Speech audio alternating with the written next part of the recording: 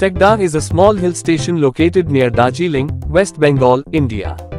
Known for its lush green tea gardens and spectacular views of the Himalayan mountain range, Takdah is a popular destination for tourists seeking a peaceful getaway. It is called Takdah, which literally means always covered, in one of the local folklore, as you would know when you visit the fog.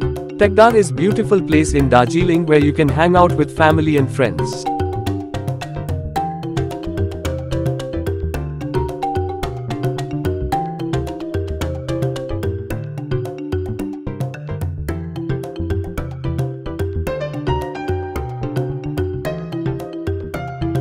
Takdah is a small town 28 kilometers from Darjeeling, named so because of the clouds of fog and mist it is perennially under. It's at a height of 4,000 feet. The quaint town has some of Darjeeling's finest tea plantations. It was developed as a cantonment area by the British around 1911. The British developed Takdah with tea gardens and bungalows at Takdah and introduced numbering system to identify those bungalows.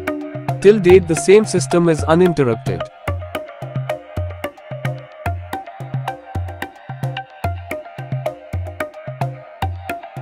Rungli Tea Garden is perched on a hill slope with elevations. It passes through Takdah and Tinchuley on the way to Darjeeling.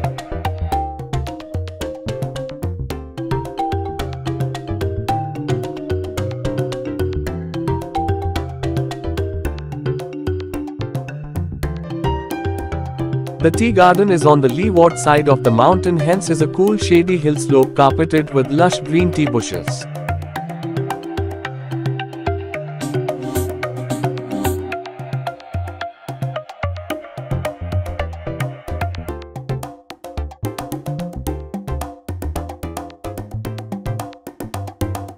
The afternoon session is one of the most ideal time to visit Rungli Tea Garden, as it allows you to witness the magnificent sunset while sitting amidst the tea plants.